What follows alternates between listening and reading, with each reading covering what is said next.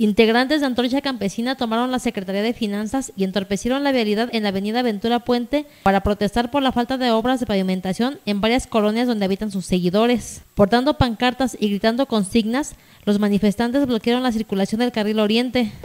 Se ve, se, siente, Antorcha está presente. Los manifestantes aseguran que Antorcha Campesina gestionó recursos para la pavimentación de las colonias Aquiles Córdoba, Cedros y Francisco Villa, mismos que no han sido aplicados, además de que piden que se les facilite la escrituración de esta última colonia.